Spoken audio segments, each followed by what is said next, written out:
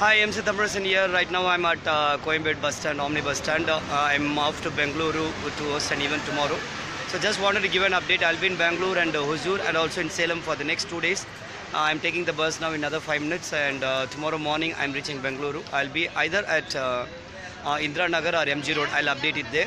I'm as usual. I'm open for networking. If someone wants to meet me, even professionals or uh, personal friends, if you like to meet, you can definitely contact me on my mobile number 900-308-7198.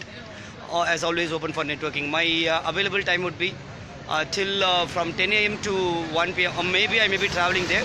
Probably my event gets over by 3:30 or 4. So from 4 o'clock until late night, I'm available at Bangalore or either at Hosur.